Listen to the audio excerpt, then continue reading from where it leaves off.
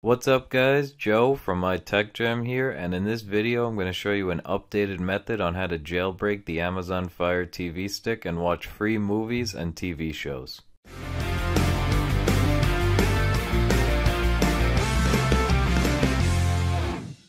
Okay guys, so the first thing you need to do is scroll over to settings on your Fire TV, then over to device, then under developer options, turn ADB debugging on, and turn apps from unknown sources on. You'll get this pop-up, just click turn on.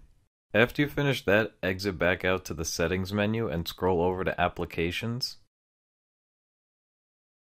Click on it to open it up, and turn collect app usage data off. You'll get this pop-up, just click turn off. The next thing we're going to do is install ES File Explorer, so exit back out to the home screen of your Fire TV, then scroll over to the left into the search section and type in ES File Explorer. Once you have that typed in, scroll down and hover over the words ES File Explorer and click on them. Then click on the ES File Explorer app and then choose download. It may also say get if you've never installed the app before. Once it finishes installing, choose open the first time you open ES File Explorer, you'll get this pop-up. Just click the back button on your remote to close it out. Then we want to click on New on the bottom of the screen. The easiest way to get over there is to come over to the left side, then scroll down and come over to the right. Once you click on New, leave the type as HTTP web and in the path type in https colon slash slash kodi.tv slash download. Now keep in mind there's two ways to do this install and I'm going to show you both ways just in case you have trouble with one you can use the other one. Once you have that typed in scroll down and click next then click OK. And then this will bring you to the main Kodi downloads page. You need to scroll all the way down to the bottom of it to where it says older releases. And then when you find that section, you need to click on the word here. Then on the next screen, choose Android, ARM, and then click on the Kodi 17.1 APK. When you click it, it may start to download, but if it doesn't, you need to click on the three dots and the word more on the bottom right of your screen. Once again, the easiest way to get there is to come over to the left side and then down and to the right.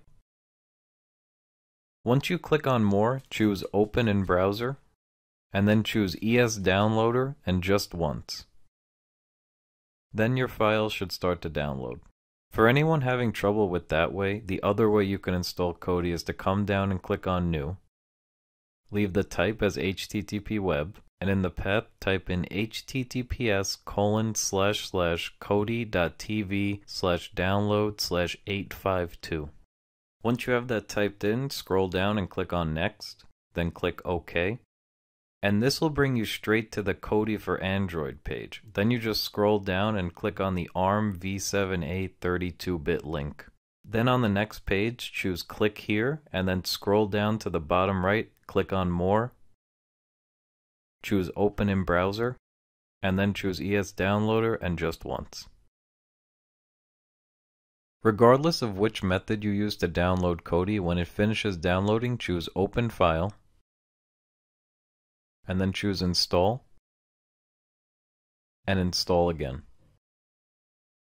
Kodi is now being installed onto your Amazon Fire TV stick. Once it finishes installing, choose Open, and then Kodi will go through its first run process. It may take a minute or two, so be patient. Once Kodi opens, click on the gear icon on the top of your screen to enter settings. Then choose File Manager. Then click on Add Source. Click on where it says None and type in http colon slash slash fusion.tvaddons.ag. Once you have that typed in, click OK and then click in the enter a name for this media source section and type in Fusion. Once you have that typed in, click OK, click OK again, and then exit back to the Kodi main menu. Once you get back to the main menu, scroll down and click on the word Add-ons. Then click on the gear on the top of your screen. And on the right side, turn on unknown sources. You'll get this pop-up, just click Yes. Then exit back to the add-ons menu and click the box icon on the top of your screen. Choose Install from zip file. Then click on Fusion, Kodi Repos, English, and then scroll down and find the Exodus repository. When you find the Exodus file, click on it and the Exodus repository will be installed. Once the Exodus repository is installed, click on Install from Repository. Then choose Exodus repository, Video add-ons, Exodus, and then Install.